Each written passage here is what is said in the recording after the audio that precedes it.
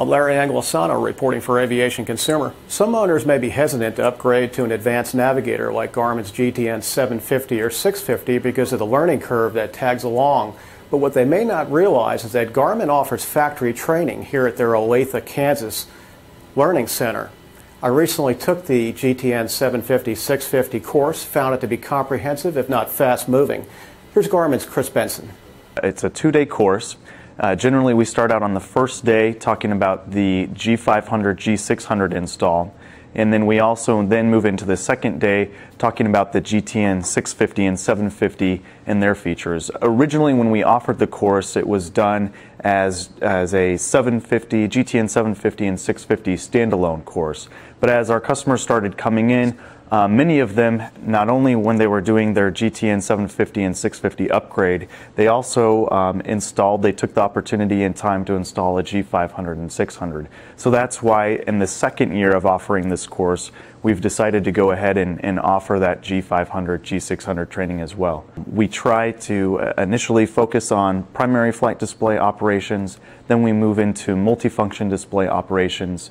We also cover abnormal procedures, what happens if your air data computer fails, what happens if your AHRS computer fails, and really focus the customer on, on understanding that, hey, your standby instruments are still there as a backup um, and then for the 750 course, we really touch hard on flight planning scenarios.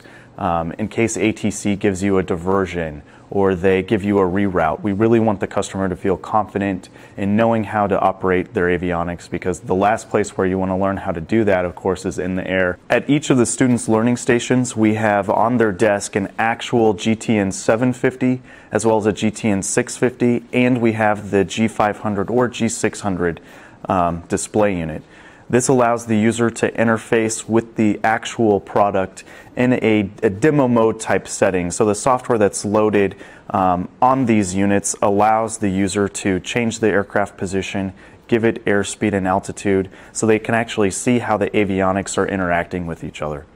The course is offered currently uh, once a month.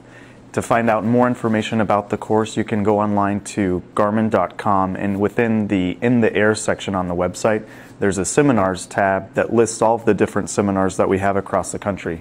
Um, this seminar is special though, it's only offered here currently at the Garmin campus. Um, maybe in the future we'll take the, uh, the GTN training on the road. By coming in into the classroom environment, um, everyone is, is on the ground, able to learn and, and use the interactive equipment um, hands-on equipment, so that way they do feel confident when they go back out to their aircraft.